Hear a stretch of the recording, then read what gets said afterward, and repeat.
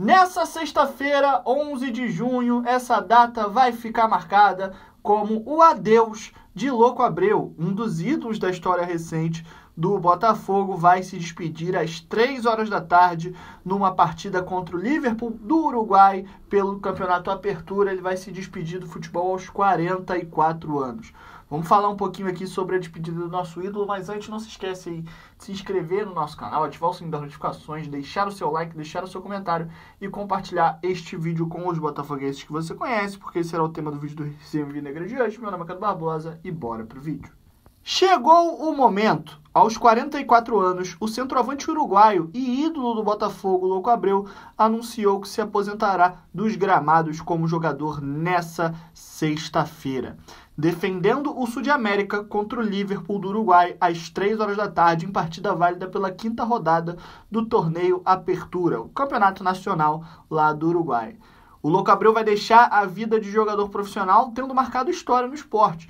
O centroavante figura no Guinness Book, o livro dos recordes, como o atleta que jogou no maior número de clubes diferentes ao longo da carreira da história do esporte. Ao todo, foram 31 camisas diferentes, 31 clubes diferentes que o Louco Abreu passou. Dessas 31 agremiações defendidas, uma das mais marcantes, obviamente, é a sua passagem pelo Botafogo, que começou ali em 2010, terminou ali em meados de 2012. O Louco Abreu que tem uma imagem eternizada no Muro dos Ídolos, em frente à sede de General Severiano, ficou marcado, obviamente, pela histórica cavadinha na final do Campeonato Carioca de 2010 e por, posteriormente pelas várias vezes, mesmo atuando por outros clubes, que fez questão de defender a imagem do Botafogo, como naquela inesquecível partida contra o Flamengo, quando ele jogava pelo Figueirense no ano de 2012. Sem contar o seu jogo de despedida nessa sexta, a carreira do Louco Abreu durou 26 anos, com 787 jogos disputados, 437 gols marcados e 97 assistências, esses números só por clubes. Vestindo a camisa da seleção do Uruguai de 2002 até 2010, que foi a última Copa que ele disputou, foram 70 jogos e 26 gols.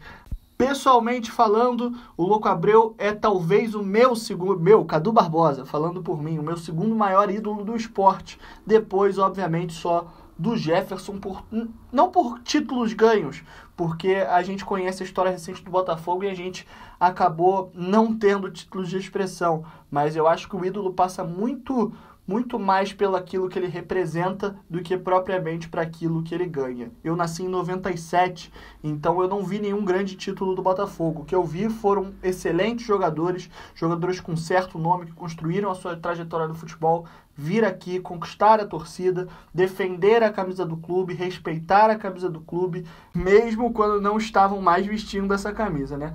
Mas enfim, outro fato é ele ter quebrado aquele jejum de 2010 é, foi muito mais importante, tornou aquele título muito mais importante do que propriamente ele era. Eu acho que quem viveu aquela época ativamente, aqueles três vice-campeonatos que a gente vinha, a, o time que a gente tinha para o Flamengo, que tinha um time que era campeão brasileiro, a gente quase por pouco fugiu do rebaixamento no ano anterior, na última rodada, e a gente ganha da forma que ganhou, com a cavadinha da forma que ele fez, enfim. O Louco é um cara que marcou a minha vida no esporte, então para mim é um dia muito especial.